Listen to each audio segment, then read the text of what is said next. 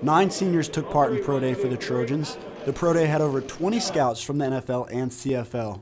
Defensive back Blace Brown was fresh off the NFL Combine and looking to improve on his 40-yard dash. I wasn't planning on doing anything else, but I said, why not? I mean, it can only help, can't hurt. So they already had my numbers.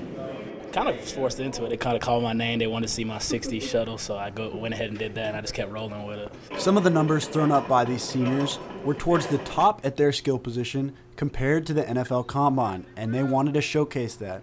I wanted to prove that um, I'm able and that um, I wish to have an opportunity to play. I can move, I'm powerful, uh, quick, that's my that's my main focus. I hope I come I, I turn a couple heads.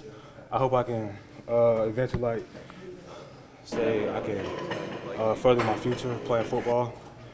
So I feel like I did great today. Yeah, I proved that I could actually run because they wanted to see me run the clock the time, and I clocked the exact time they wanted me to run. This group of seniors is arguably one of the best Troy has seen as they recorded 35 wins in their career, and pro scouts saw that. I'm a strong guy, um, a little stiff, uh, pretty quick. Telling me I got talent, I look smooth. They just want to know how that knee is. Um, they're gonna put me through some things my knee hasn't been through, so I'm looking forward to that. Um, they said I had a bright future, and I did pretty good today. So I took that in, take it to heart. So I had a good 60-yard um, shuttle, and my turns were really good.